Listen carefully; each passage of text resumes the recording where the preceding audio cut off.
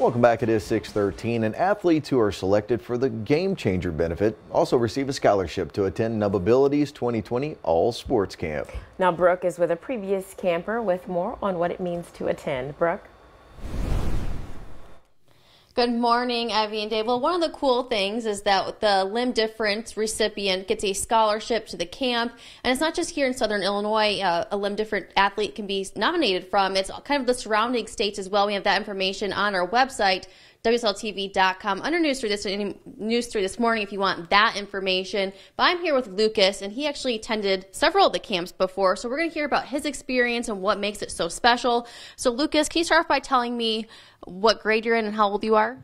I am 11 and I'm in grade six. And where do you go to school? Herrin Middle School. Herrin Middle School. He just got up to middle school, so I'm pretty excited about that.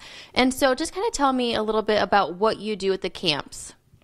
So at the camps, I uh, I learned how to play different sports with one hand and limb difference and stuff like that.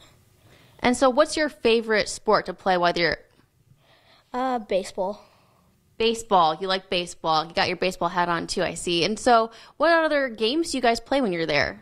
We play like football, basketball, uh, lacrosse, soccer, uh, mm, swimming, fishing, and yeah. Sounds like a pretty busy uh, time when you're actually at camp. And so you were telling me off camera that you've been down to Florida for camp as well. What was that experience like? It was really cool and fun. Uh, that was like one of the first times I ever went on like an airplane, and stuff like that. And you got a visit from, was it some baseball players? Yeah.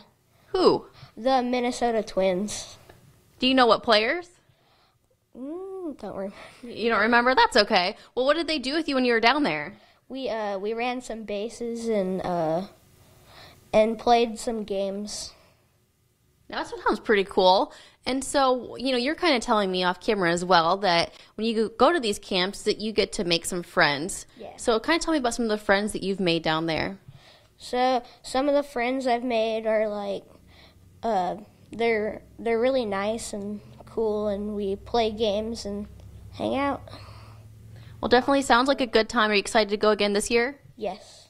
Well, thank you so much for waking up. I appreciate it. And if you want to nominate a student athlete or coach, again, we have that information on our website, WSILTV.com, under news through this morning. Now over to you, Nick.